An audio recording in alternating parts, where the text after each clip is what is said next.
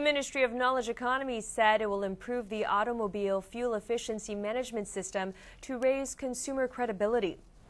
The ministry will strengthen monitoring on the fuel efficiency assessment procedures and results which have been conducted by automakers. Under the new system, the government will screen 5 to 10 percent of the completed units. Previously, it was only 3 to 4 percent. It will also cut the margin of error allowed for the completed units from minus minus 5 percent to minus minus 3 percent.